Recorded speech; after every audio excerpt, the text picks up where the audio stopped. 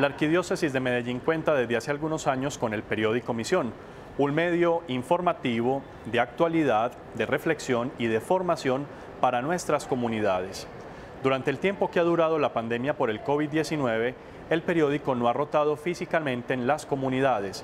Sin embargo, hemos descargado todos los artículos del periódico en el blog www.misionmedellin.com. Allí podemos encontrar toda la producción de nuestro periódico Misión y también podemos encontrar la edición virtual completa en la página oficial de la Arquidiócesis www.arqmedellin.co.